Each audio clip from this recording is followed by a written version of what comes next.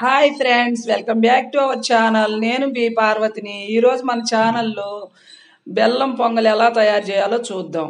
ఒక గ్లాస్ బియ్యం తీసి ముందే కడిగి పక్కన పెట్టుకోవాలి. ఒక స్పూను పెసరపప్పు ఒక స్పూను సగ్గు బియ్యం కూడా కడిగి పక్కన పెట్టుకొని మొత్తం గిన్నెలోకి తీసుకోవాలి. తీసుకున్న తర్వాత మనం ఏ గ్లాస్తో అయితే బియ్యం తీసుకున్నామో అదే గ్లాస్తో రెండు గ్లాసులు పాలు ఒక మూడు గ్లాసులు నీళ్ళు ఎసురు పోసుకొని పెట్టుకోవాలి. ఇప్పుడు స్టవ్ ఆన్ చేసి స్టవ్ మీద గిన్నె పెట్టుకొని మూత పెట్టుకోవాలి. పొంగలి పొంగే వరకు మూత తీయకూడదు. పొంగలి పొంగిన తర్వాత తీయాలి. ఇది మన హిందూ సాంప్రదాయం.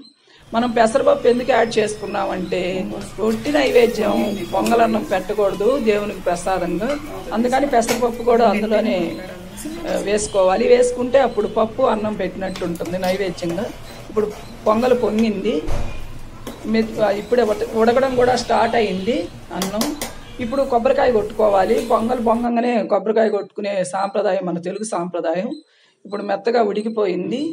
మనం చూసుకొని మెత్తగా ఉడికిన తర్వాతే బెల్లం వేసుకోవాలి. లేదంటే మెతుకులు మెతుకులుగా బెల్లం బెల్లంగా స్మూత్గా మెత్తగా రాదు. అన్నం ఉడికిపోయింది. మనం ఏ గ్లాస్తో అయితే బియ్యం తీసుకున్నామో అదే గ్లాస్తో రో- రెండు గ్లాసులు బెల్లం తీసుకోవాలి. దాన్ని సన్నగా తరిగి పెట్టుకొని పక్కన పెట్టుకోవాలి. దానిలో ఏమన్నా బాగలేదు బెల్లం అనుకుంటే కొంచెం నీళ్ళల్లో కరిగి పెట్టుకొని వడపోసుకోవచ్చు. లేదంటే మంచిగా ఉంటే డైరెక్ట్గా బెల్లం తీసుకోవచ్చు. నేను తీసుకున్న బెల్లం మంచిగా ఉంది కాబట్టి ఒకేసారి డైరెక్ట్గా వేసుకుంటున్నాను. ఇలా వేసుకొని చక్కగా నాలుగు వైపులా కలి కలుపుకోవాలి. ఊరకనే కరిగిపోయింది. ఎందుకంటే తరిగి పెట్టుకున్న బెల్లం కాబట్టి ఆల్రెడీ సగం కరిగిపోయి అన్నంలో కలిసిపోయింది. కలిసిపోయిన తర్వాత మూత పెట్టుకొని ఒక ఐదు నిమిషాల మధ్యలో రెండుసార్లు కలిపెట్టుకుంటా మూత పెట్టుకోవాలి. లేదంటే బెల్లం అడుక్కెళ్ళిపోయి కాటాసున వచ్చిద్ది.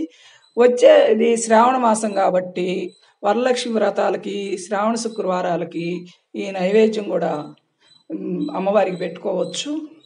చూడండి చక్కగా ఇదైపోయింది. ఈలోపు జీడిపప్పుని కట్ చేసి పెట్టుకోవాలి. అలాగే బాదం పప్పును కూడా కట్ చేసి పెట్టుకోవాలి. కొబ్బరికాయ కొట్టుకున్నాం కదా కొబ్బరికాయని కూడా కొబ్బరిని పచ్చి కొబ్బరిని చిన్న చిన్న ముక్కలు చేసి పక్కన పెట్టుకోవాలి.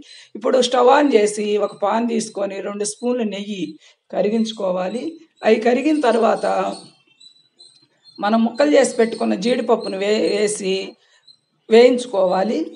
అడుగంటి పోతే నల్లగా అయిపోతాయి అవి చేదు కూడా వస్తాయి. అలా వేయించుకొని చక్కగా ఇంకొక బౌల్లోకి తీసుకోవాలి. ఎర్రగా వేగిని చూడండి. బౌల్లోకి తీసుకొని మళ్ళీ బాదం పప్పును కూడా అలాగే వేయించుకోవాలి. బాదం పప్పు కూడా కదు కలుపుకుంటూనే వేయించుకోవాలి. లేదంటే మాడిపోయే అవకాశం ఉంటుంది. ఇప్పుడు అవి కూడా తీసి పక్కన పెట్టుకున్న తర్వాత ఫైనల్గా కిస్మిస్ వేసుకోవాలి. అవి తొందరగా వేగిపోతాయి.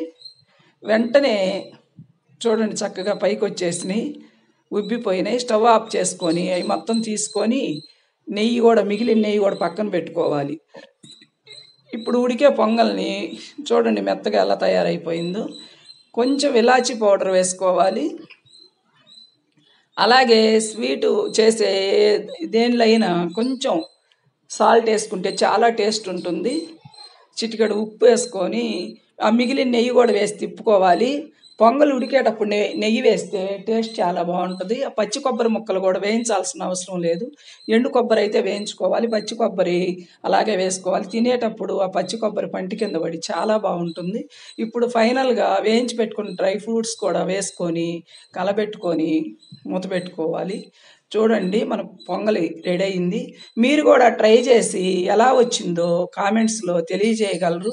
మా వీడియోస్ కానీ మీకు నచ్చినట్లయితే లైక్ చేయండి షేర్ చేయండి సబ్స్క్రైబ్ చేయండి. మా నోటిఫికేషన్స్ కోసం పక్కనే ఉన్న గంట సింబల్ని నొక్కండి. మరో మంచి రెసిపీతో కలుద్దాం.